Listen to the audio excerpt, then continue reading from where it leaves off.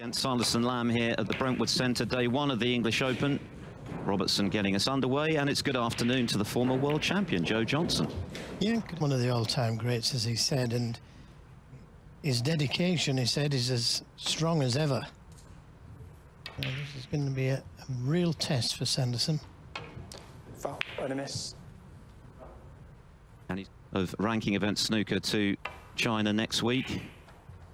Northern Ireland Open, second leg of the home nations, the champion of champions as well for those. Yeah.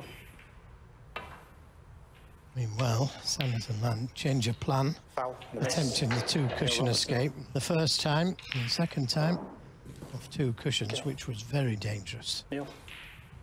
Julian Bell is our referee for this match.